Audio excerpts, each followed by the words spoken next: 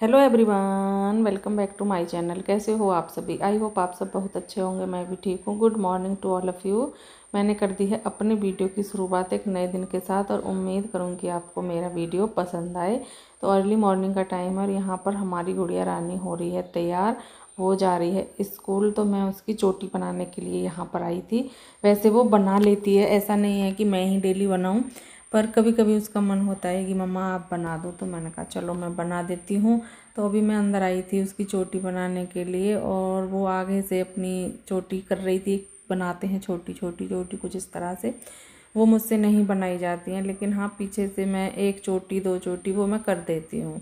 तो अभी इसको करानी है आज दो चोटी और इसके ना बाल बहुत गिर रहे हैं। पता नहीं क्या प्रॉब्लम है, क्या नहीं है। मैं भी परेशान हूँ इनके, इसके बालों को देख करके। कि पता नहीं क्या हो गया है। बहुत बाल गिरते हैं इसके। पता नहीं इस मौसम में ही गिरते हैं या गिरते ही रहते हैं, अभी ये समझ में नहीं आ रहा। क्योंकि इस मौसम में तो लगभग सभी के बाल गिरते ही गिरते हैं। तो अभी यहाँ पर मैं उसके वही चिमटी वगैरह जो भी है वो मैं दे रही थी और वो बोल रही थी कि मम्मा यहाँ पर ऐसे लगा दो। लेकिन मुझसे सही नहीं लगी क्योंकि मुझसे ना जैसे कि बालों की जैसे हेयर स्टाइल बनाना है, कुछ करना, मुझसे वो नहीं आता है। मैंने हमेशा से सिंपल ऐसे ही बस चोटी बनाई है, या जैसे अब ये जूड़ा बना रखा है फोल्ड करके, ऐसे जैसे चोटी बनाई, उसी का फोल्ड करके जूड़ा बना लिया बस, क्योंकि फिर गर्मी लगती है। अगर चोटी नीचे की तरफ़ रखो तो मेरा तो यही रहता है, कहीं जा रही हूँ, तब भी मेरा ऐसे कोई हेयर स्टाइल नहीं होता है, या क्लेचर लगा लिया, खुले बालों में अगर बाल धुले हैं, या फिर ऐसे ही फोल्ड करके जूड़ा बना लिया, बस यही सब रहता है। तो मुझसे तो इतना इस तरह से कुछ बनता नहीं है। अभी यहाँ पर अनुष्का के पापा जी भी आ गए हैं क्योंकि वो भी नहा करके आए हैं, वो भी कपड़े वगैरह पहनेंगे, बाल कंगी करेंगे, वो भी यहाँ पर। तो मैंने इसलिए वहाँ पर ब्लॉग वीडियो को बंद कर दिया था क्योंकि ना मुझे नहीं अच्छा लगता कि जब उनका खुद का मन होगा तब वो आए, वो अलग बात है। अगर मैं अपनी मर्ज़ी से उनको लूँ, वो सही नहीं है। तो मैंने वीडियो बंद कर दी। वहाँ पर और वो अपना बाल वगैरह कंगी करने लगे और कपड़े वगैरह पहने उन्होंने, यही काम किया और फिर वो तो दोनों चले गए हैं। मैंने उनके लिए ना, क्या बोलते हैं, उनके लिए चाय वगैरह, नाश्ता वगैरह जो भी मुझे देना था वो उनको दिया और उसके बाद वो दोनों चले गए और मैं अपने काम पर लग गई। क्योंकि अगर गुड़िया रानी स्कूल जाती है तो उसके पापा जी भी साथ में ही तभी चले जाते हैं। अगर वो स्कूल नहीं जाती है तो उनको थोड़ा सा फिर लेट ही हो जाता है।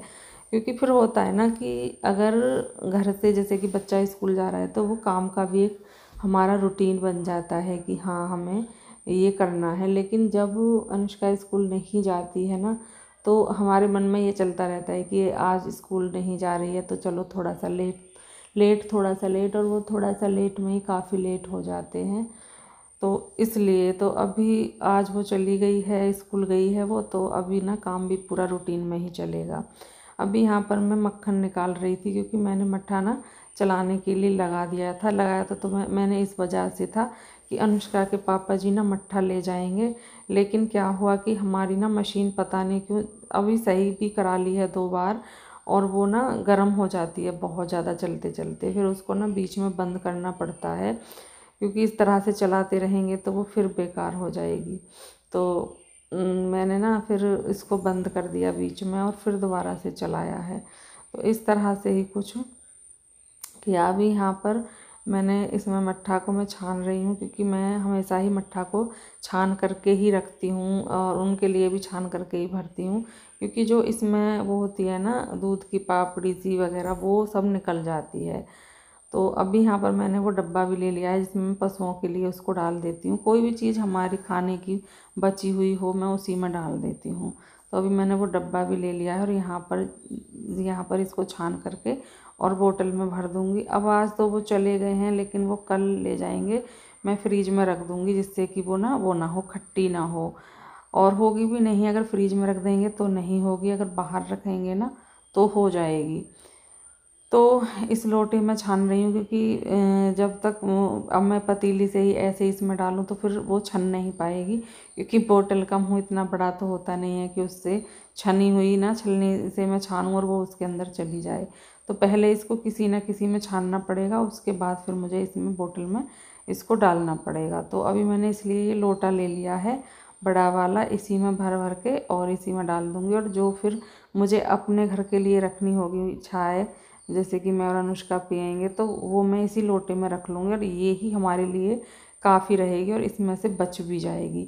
हम तीनों के लिए इस लोटे में ना काफ़ी रहती है, जैसे कि हम रायता वगैरह बनाते हैं, इसमें बना लेती हूँ और वो ही हमारे सबके लिए काफ़ी रहती है, क्योंकि काफ़ी बड़ा है और मैं तो हमेशा से ही मैं लूँगी ज़रूर जैसे चाय को सब खाने के साथ, लेकिन मैं ना ज़्यादा नहीं, बहुत छोटी सी एक गिलास है उसी में लेती हूँ, क्योंकि मुझसे ना बहुत ज़्यादा नहीं पी जाती है। अनुष्का के पापा जी कुछ फ्रूट्स ले करके आए थे इसमें कि ये एप्पल है और बनाना है तो मैं इनको इसमें रखूँगी धुल करके। और ये बनाना ना बढ़िया है, क्योंकि ज़्यादा ही जो पके हुए ले आते हैं ना, फिर वो बहुत जल्दी से ख़राब हो जाते हैं और इतने जल्दी खाए तो जाते नहीं हैं। लेकिन अब की बार अनुष्का के पापा जी, वैसे वो सही ही लाते हैं, ऐसा नहीं है, कभी हो जाए वो एक अलग बात है। यहाँ पर ये मिठाई है तो मैं सोच रही थी कि इसको क्यों ना एक डब्बे में ही कर दूँ, क्योंकि अब थोड़ी थोड़ी सी रह गई है तो दो डिब्बों को क्यों ही रखना? तो इसलिए मैंने फिर इसी डब्बे में रखना इसको शुरू कर दिया है, जो ये वाला डब्बा है। तो अभी इसको इस वाले डब्बे में रख लूँगी और ये दूध आ गया है तो दूध को भी मैं इसमें छान लूँगी भगोने में और इसको बॉईल करने के लिए रख दूँगी। तो छान के तो मैं वो छाए हो या दूध हो, दोनों चीज़ों को ही रखती हूँ, मुझसे ना बिगड़ छना तो बिल्कुल नहीं देखिए। क्योंकि ना बाहर से दूध आता है। बाहर से आओ या घर का दूध हो। मैंने कभी भी घर का दूध भी ऐसे नहीं गर्म करने के लिए रखा है कि ऐसे ही बिना छने में गर्म करने के लिए रख दूँ। मैं उसको भी ना छान करके ही रखती हूँ। तो अभी मैं आ गई हूँ वॉशरूम में और यहाँ पर डालूँगी मैं, इसमें पानी मशीन में, क्योंकि मुझे लगाने हैं कपड़े धुलने के लिए। तो मैंने मशीन अंदर ही कर ली है और ज़्यादातर अभी ना कुछ दिनों से मैं मशीन को अंदर ही ले जा कर के लगाती हूँ।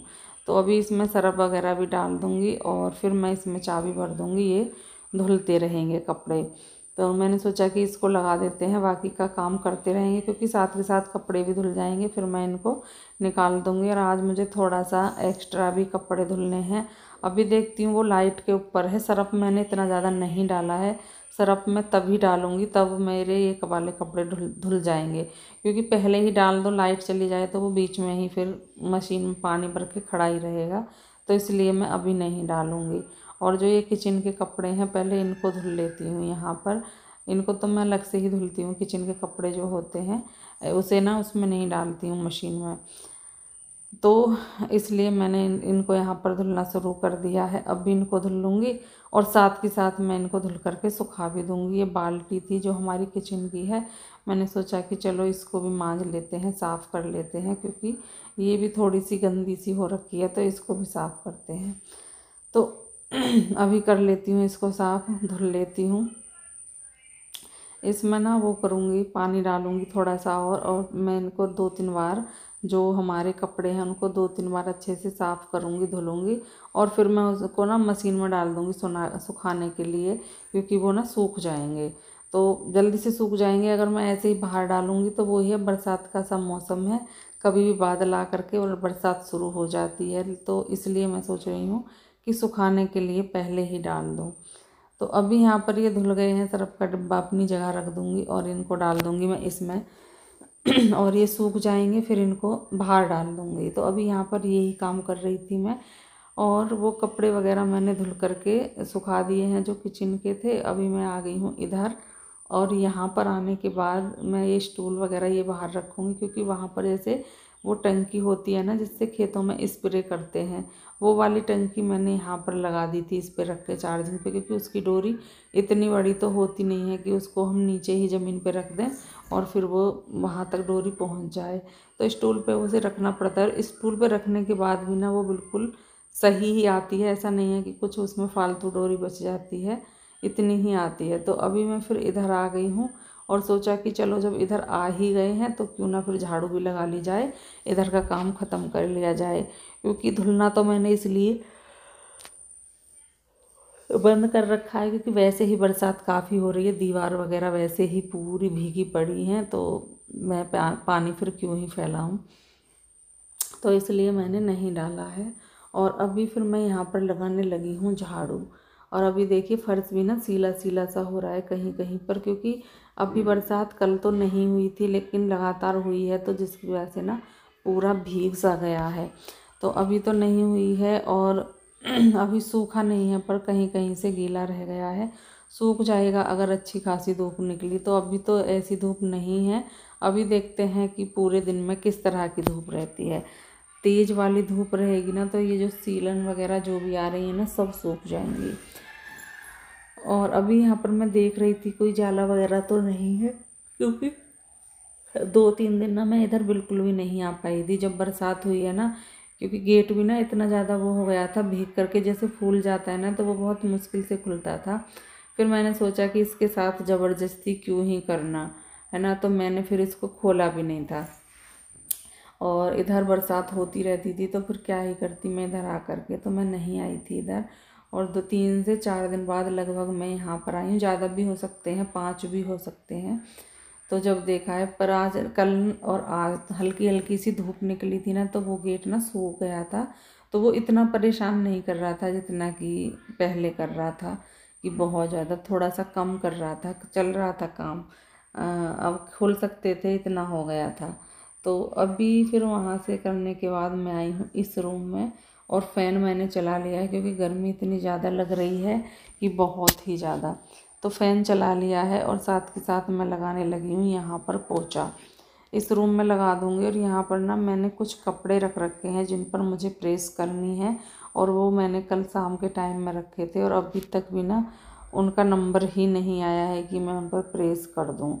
अभी देखते हैं कि कब होती है। वैसे कोशिश मेरी यही है कि मैं जल्दी से काम ख़त्म करके और इन कपड़ों पर प्रेस वगैरह कर लूँ। तो अभी यहाँ पर मैंने लगा दिया है पोचा, मेज़ वगैरह हटा करके, क्योंकि मेज़ को उठाना पड़ता है। उसके नीचे से जो भी हो, जो चीज़ उठा सकते हैं, वो तो उठा ही लेते हैं। अब ऐसा तो है नहीं कि सोफ़ा को उठा लें या फिर बेड को उठा लें, लेकिन मेज़ को उठा सकते हैं। तो मैंने यहाँ पर लगा दिया है पोचा, और जो हमारा सोफ़ा है और जो हमारा बेड है, उसके नीचे ना आराम से झाड़ू पोछा चला जाता है। लेकिन मेज़ को जब तक नहीं उठाएँगे, जब तक उसके नीचे नहीं जाएगा। तो इसलिए अभी मैं यहाँ पर आ गई हूँ और मुझे करनी है थोड़ी सी प्रेस। मैं ना ये वाला सूट पहनूँगी तो सोचा कि चलो इसी पे प्रेस कर लेते हैं क्योंकि अभी मुझे इतना टाइम तो है नहीं कि मैं सब कपड़ों को लेकर के बैठ जाऊँ, अभी मैं नहा करके आऊँगी। उससे पहले मैंने सोचा कि पहले करते हैं अपने सूट पर प्रेस, फिर इसको ही पहनते हैं। तो अभी यहाँ पर प्रेस करने लगी हूँ मैं और मौसम थोड़ा सा खुला हुआ है लेकिन कभी कभी बादल आ जाते हैं तो कभी भी बरसात हो सकती है। ऐसा तो है नहीं कि बिल्कुल ही मौसम साफ़ हो गया है। बरसात हो सकती है लेकिन हाँ थोड़ा सा धूप निकली है आज। अब देखते हैं कितनी देर तक निकलती है। बिल्कुल भी पता नहीं है कि कब बादल आ जाएँ और बोलने लगें कि सब चीज़ें अंदर करो, मैं आ गया हूँ। क्योंकि ना होता है कोई भी चीज़ हम सुखाने के लिए अगर रखें तो हमें रहता है कि जल्दी से ना उसको अंदर रख लें। कहीं बरसात ना शुरू हो जाए। तो इसलिए अभी यहाँ पर प्रेस कर रही हूँ, थोड़े, बस एक सूट पर ही करूँगी, फिर भी ना थोड़ा सा टाइम तो लग ही जाता है। और बाकी का बाद में मैं अनुष्का के पापा जी के कपड़ों पर, अनुष्का के कपड़ों पर, इन पर कप, इन पर करके रखूँगी। एक आधा सूट पर अगर मुझे टाइम मिला तो अपने पर भी कर दूँगी। कल काम आ जाएगा, क्योंकि बिना प्रेस के ना पहनूँ। पहनने तो पड़ जाते हैं कभी कभी मैं भी पहनती हूँ, ऐसा नहीं है।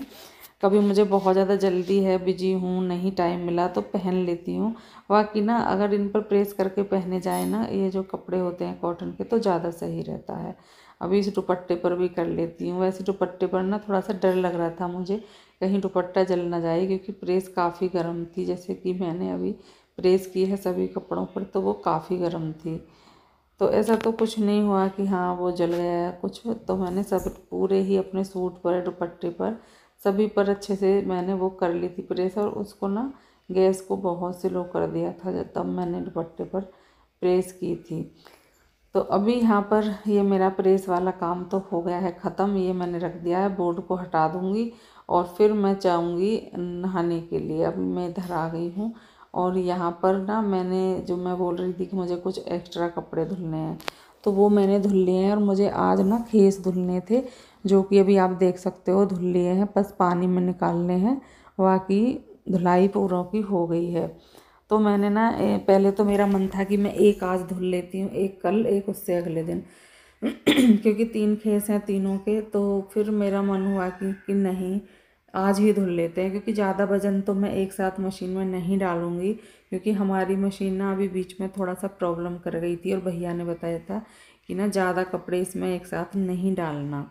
तो मैंने सोचा कि चलो मैं एक साथ नहीं डालूँगी धीरे धीरे करके ना धुल लूँगी। तो इसलिए मैंने खेस भी ना अलग अलग करके धुले हैं, एक साथ नहीं धुले हैं, क्योंकि फिर वही रहता है ना कि कहीं ना मशीन ख़राब ना हो जाए थोड़ा सा रहता तो है ही, और फिर कोई चीज़ एक बार ख़राब हो जाए ना तो बड़ा मुश्किल से फिर वो हो पाती है सही। अभी यहाँ पर क्योंकि ना कुछ चीज़ें तो ऐसी होती हैं कि बिल्कुल अब भी सही हों काम चलता ही नहीं है। अभी मशीन भी कुछ ऐसी ही हो गई है, क्योंकि मशीन के बिना बिना अब काम नहीं चलता है, मशीन की भी ज़रूरत पड़ती ही है। अब भी यहाँ पर इधर आ गई हूँ मैं कपड़े सुखाने के लिए, काम पूरा ख़त्म हो गया था और मैं नहा ली थी। मशीन भी मैंने साफ़ कर दी है, साफ़ करके बाहर की साइड में थोड़ा सा निकाल दी है, क्योंकि थोड़ी सी हल्की सी धूप भी लगे, हवा भी लगे, तभी सही रहती हैं चीज़ें। तो वो तो मैंने बाहर निकाल दी है, साफ़ कर दी है और मैं इधर आ गई हूँ कपड़े सुखाने के लिए। तो खेस जो धुले थे ना, उनको यहाँ पर मैं सुखा रही हूँ और हवा भी चल रही है तो मुझे ना इनमें लगानी पड़ेगी चिमटी क्योंकि हवा चल रही है। अगर हवा ऐसे ही चलती रही तो ये है कि खेस नीचे गिर जाएँगे और काई वगैरह थोड़ी बहुत छत पर हो ही रखी है बरसात की वजह से, फिर वो पूरी ना वो हो जाएगी। क्या बोलते हैं? इसी पर लग जाएगी। तो इसलिए इनमें मैं लगा दूँगी चिमटी जिससे कि ना ये वो हो जाए। गिरे ना। देखिए, हवा कितनी तेज़ चल रही है। ये तो गिरा देगी। पहले सोचा था कि दीवार पर डाल दूँ, फिर मन नहीं माना। मैंने कहा, नहीं, चलो, मैं उधर ही डालती हूँ। एक खेस में उधर की रस्सी पर डाल दूँगी। और ये ना, वो हो गई है, पता नहीं कैसे नीचे झुक गई है रस्सी। पहले तो ये बिल्कुल सही थी, लेकिन अब भी ये झुक गई है। तो डर लगता है कि कहीं कपड़े ना गिर जाएँ, कहीं कपड़े ना गिर जाएँ। और अभी हमारे यहाँ पर बंदर भी आने लगे हैं तो थोड़ा सा उनका भी रहता है। कहीं वो आकर के ना कपड़े ना फाड़ दें। अभी वीडियो का एंड करूँगी। मिलेंगे कल आपसे एक अच्छे से वीडियो में। तब तक के लिए bye bye and take care